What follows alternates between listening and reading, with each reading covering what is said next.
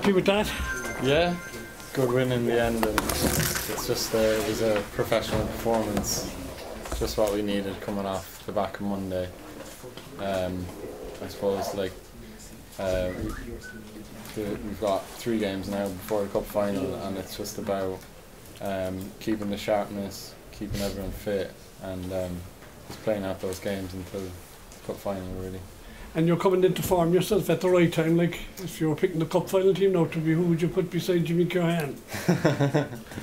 I don't know. Like there's there's a lot of um, competition for that those midfield places. So um, yeah, look, everyone's everyone's just got to work hard and put their name forward for that that team on the day. So I think we've all got to obviously chip in the next few weeks and and uh, work hard towards that cup final. Already. And you're picking up the goals. How many is that now this season? Uh, six in the league.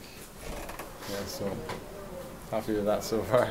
Right. Um, Jimmy, is it is it hard to kind of get yourself up for these kind of games now? You know when. Like you know, in tonight, even though there's three games left, City guaranteed to come second, Limerick guaranteed to come ninth. Like, yeah. it, do, does the game get much above the level of a friendly in terms of intensity and tempo and things? Yeah, as I said um, earlier, I think it's about keeping, you know, the sharpness, Yeah, like and doing things right. And you got to do them in the, the right way because you can't get too lazy with these with these games. It's, Yeah. it's another game you got to do um, what's expected of you. And if you're a young player coming through, like we had a lot of young players playing tonight, it's about them proving can they step up and uh, compete for a place in the team yeah, um, and for the lads that would be more experienced in around the team, it's as I said, the sharpness and Yeah, just keeping yeah. on top of things. And having got the early goal, would you have expected City to push on a bit more, or is it a kind of a natural thing to maybe relax having having taken the lead?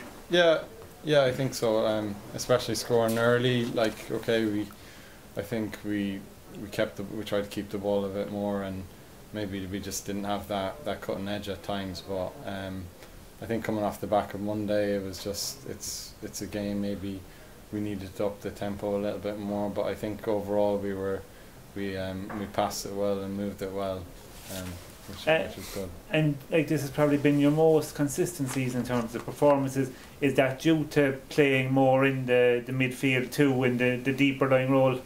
Yeah, I think that's uh, that's a, a bit more natural to me than um, box to box type um, inserting my or asserting my energy Yeah, on the game, and um, I, I feel like yeah that has helped that um, and obviously we, we have a lot of competition for those places as well, which we drive ourselves um, Yeah. forward.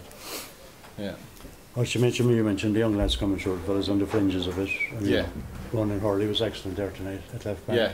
He's he's been very, very comfortable. Yeah, very very comfortable, and it's um, I think he, he's he's done himself justice the last few weeks, especially um, going away to Shamrock Rovers, which is a very difficult place to go, and um, by all accounts he perfor- performed superbly that night as well. So it's um, it's it's good really to have someone pushing Griff because we haven't had someone that has left, yeah, left back, like, yeah. natural left. And obviously he's left got a good future in the game. I presume he's Yeah. captain of the under 19 team here already. Like Yeah, yeah, he's he's looked very good. He's um, technically good.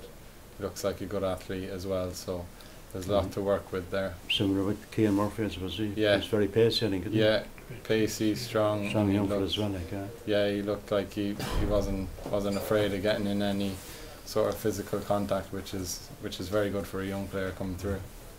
And it's important now to keep the momentum going right Yeah. to the cup finals. I mean, you'd like to go to Derry and win and beat Yeah. Bray here. Keep this run going. Exactly, You yeah, came into the game tonight three unbeaten or something. Yeah, that's it. Like we just gotta build towards that cup final. Okay, look, we've got to go out and perform in these games and do things right, and going forward with momentum. That's that's what we need going into the, the cup final.